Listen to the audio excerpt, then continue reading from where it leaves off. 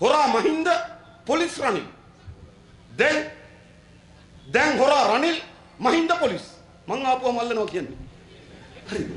ඉතින් මේ හොරා පොලිස් වල මේකම ඉන්න කට්ටිය දෙපැත්තට බෙදෙනවා. කරු ජයසූරිය 2001 දී ගලද මලද රනිල්ගේ ටීම් එකේ 2007 දී ගලද මලද මහින්ද මහත්තයාගේ ටීම් එකේ දැන් ගලද මලද අම්පයර් නේද උතර අම්පයර් යා හොඳේ හරිද ඉතින් එහෙම ඉන්නවා නේද නිමල් ලංසා නේද? නිමල් ලංස එක කාලයක් එව ගලද මලද? මහින්ද මහත්තයාගේ ටීම් එකේ. 2015 ඇවිල්ලා එව ගලද මලද? මෛත්‍රිගේ ටීම් එකේ. දැන් දැන් රිසව් අතිරේක තාම දන්නේ නැකෝ. අද රැත් මොනවාරි වෙයිද දන්නේ තාම ටීම් එක තෝරාගෙන නැහැ. අතිරේක වෙන්නේ ඉතින් මේකම කට්ටියනේ දෙපැත්තට බෙදෙනවා. කට්ටිය දෙපැත්තට බෙදෙනවා. කට්ටිය බැට් කරනවා. කට්ටිය බෝල් කරනවා. කට්ටිය පොලිස් කට්ටියක් හොරු. ඉතින් මේ විකටමනේ අවුරුදු 70ක් ආවා.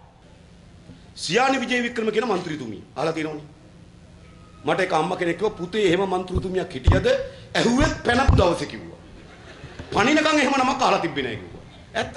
විශාල ගෝසාවක් දීලා මෛත්‍රීපාලගේ මෛත්‍රීපාල මහත්තයා රනිල් මහත්තයාගේ අයවැයට විරුද්ධව ඡන්ද දුන්නා.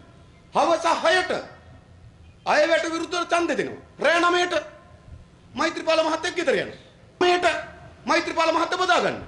අඩුම තරමේ සාරිය මාරු කරලත් නෑ. පාර්ලිමේන්තුවේ නම් හිටපු සාරිය පිටේ අන්න ආය මහින්ද මහත්තයා රනිල් මෛත්‍රීපාල මහත්තයා ගා.